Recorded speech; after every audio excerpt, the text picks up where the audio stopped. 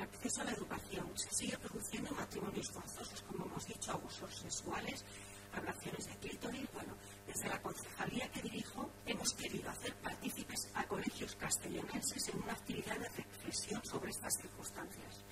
Así hemos remitido unas postales, que es estas postales, con la imagen de Malala, símbolo internacional del derecho de las niñas a recibir formación, a los colegios Gaeta Huguet, house, Dudley Stigma,